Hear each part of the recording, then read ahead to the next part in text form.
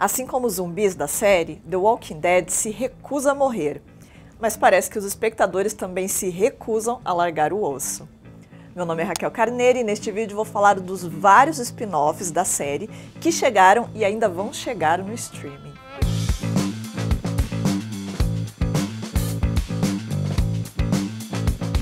Lá em 2010, estreava na TV a série The Walking Dead, sobre um grupo de sobreviventes em meio a um apocalipse zumbi. A trama, baseada em uma graphic novel, virou sucesso por seu roteiro esperto, cheio de referências políticas, filosóficas e religiosas.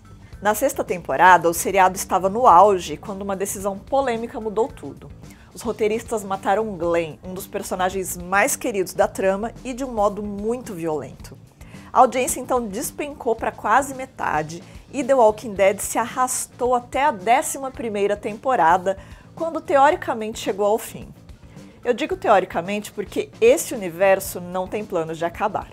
Recentemente chegaram ao Prime Video da Amazon duas tramas derivadas que se passam depois do fim da série, acompanhando alguns dos protagonistas. O primeiro a estrear foi Dead City, com os personagens Maggie e Negan em uma missão em Nova York. Depois foi a vez de The Ones Who Live, que mostra o reencontro de Rick e Michonne, separados desde a nona temporada. E na próxima semana estreia ainda Daryl Dixon, que será ambientado em Paris. If I don't make it back, I want him to know I tried.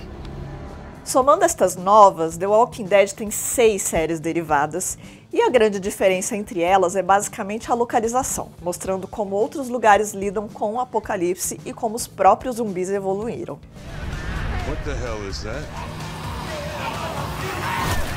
Claro que quem já foi conquistado por esse universo em algum momento da vida provavelmente vai ter vontade de ver essas novidades. Quer uma dica? The Ones Who Live com Rick e Michonne é essencial para quem já gostou de The Walking Dead. E funciona muito bem como um final, só que dessa vez de verdade. I won't stop. I'm getting there, I'm getting home. E esse foi em cartaz. A gente se vê na semana que vem com mais dicas e notícias do cinema e do streaming.